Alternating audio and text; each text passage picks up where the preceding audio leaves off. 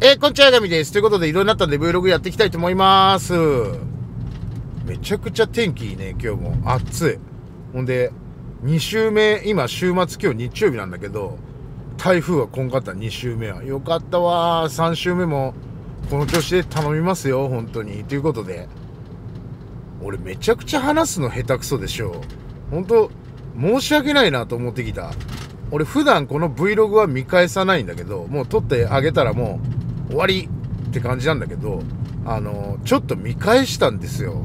で、なんで見返したかっていうと、今別のチャンネルでさ、あのまあ、俺がやってタイトロープっていう店のタイトロープチャンネルっていうのがあるんだけど、それせっかくさ、2000何人とかチャンネル登録いるのにもう完全に死んでるの。使ってないの。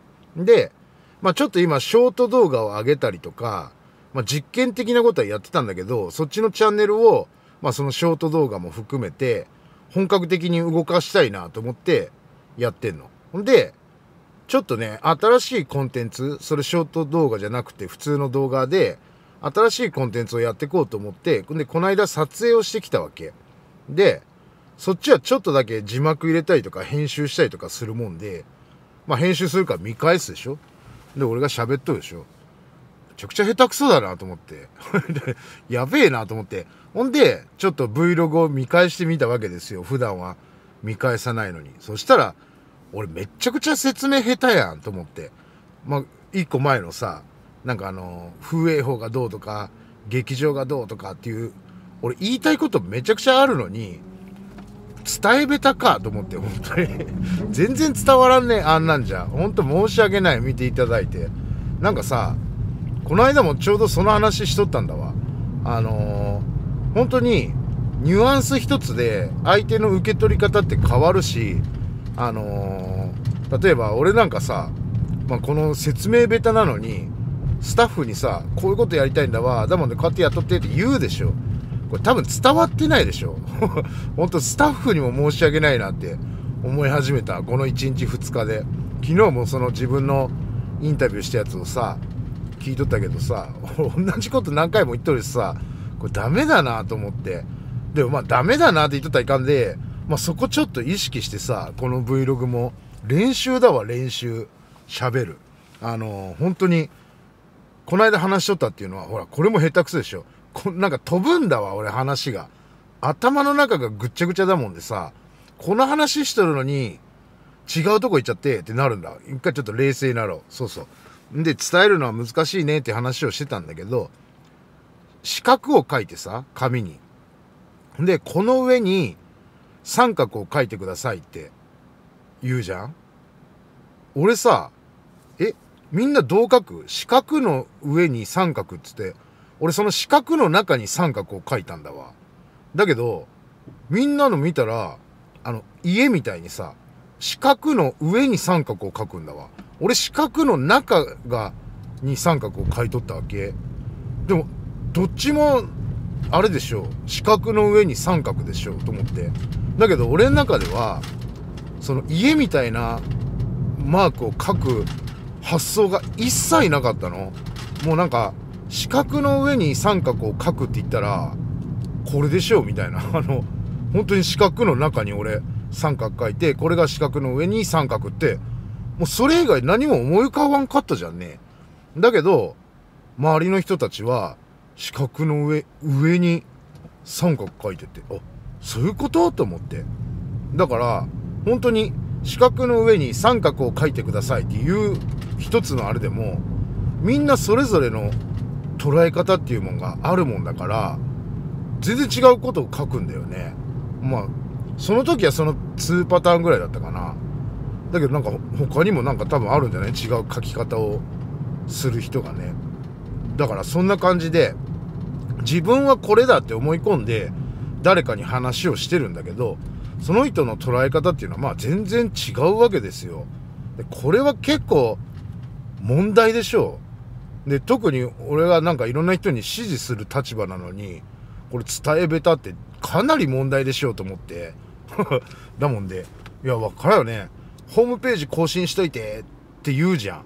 四角の上に三角書いてと一緒でさ、俺の中ではこういう風に更新してって思ってるのに向こうが捉え方違うとかいやそんなようなちっちゃいこと多分めちゃくちゃあるんだなと思って反省したまああとは真似この Vlog はさ一人で喋っとるもんでどんな間でもいいしあのー、あれなんだけど会話の真似？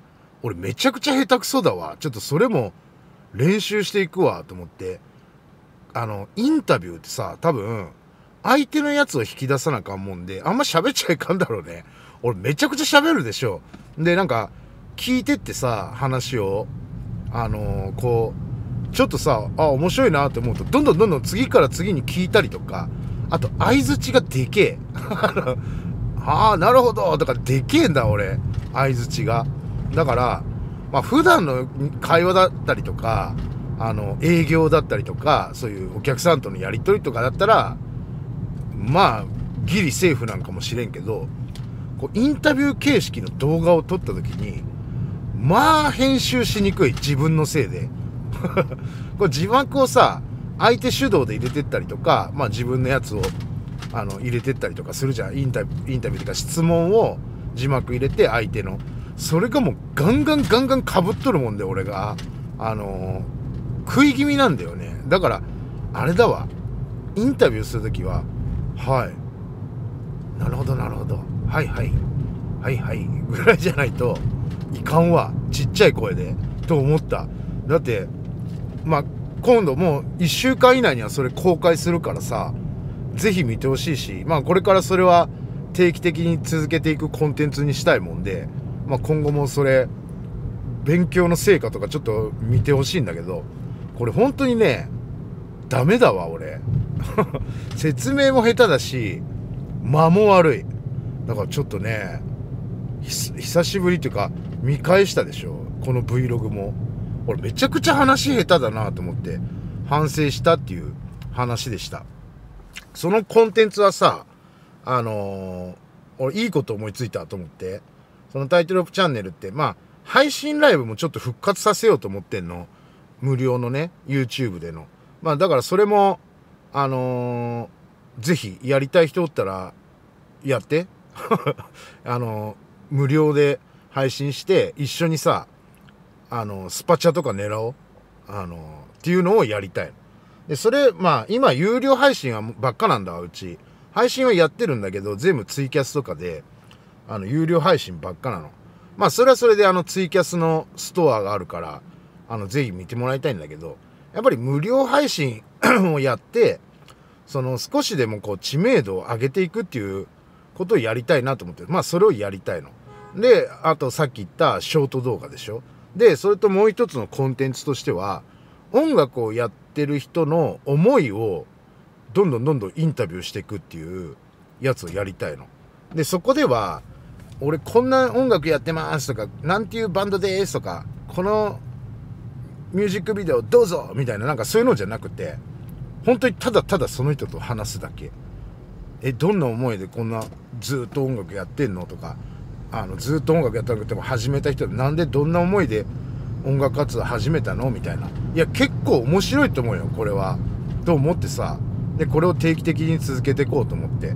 で、そのためにはやっぱ、インタビュー能力ってめっちゃ大事だなと思ってさ。そうそうそんな話でございますよ。まあ今日はねあのお昼お昼公演で今からドキシーに入ってでそれがちょっと落ち着いたらタイトロップに顔出してみたいな。ほんでまたその YouTube の編集したりあと週明けにさまたちょっといろいろ書類を提出しない感じなんね。あのー今度また名古屋港でさイベントやるもんでそのなんか申請書類だったりとかあとこの間やってるこの間からやってるその税務署に出す書類だったりとかまあいろいろ書類を揃えて提出したりとかまあバタバタバタバタやってますよ。なんかさシフトとかもさ俺もう9月のとりあえず1週目だけちゃんとシフトできたらいいやと思って。ほんで8月の末ぐらいでそれ作って、で、9月入って、とりあえず1週目作って、2週目以降はすぐ作ろうまたと思っとったの。まだ、もう1週間経ったでしょ。あの、9月になってから。まだできとらんでね、ちょっと、それぐらいなんか日がバーンって飛んでくっていうか、すごいスピードで日が過ぎてくもんだからさ、ちょっと、急がなかん。でもやることいっぱいだもんで、ありがたいですよ。ということで、最後まで見ていただき、ありがとうございました。チャンネル登録よろしくお願いします。ありがとうございました。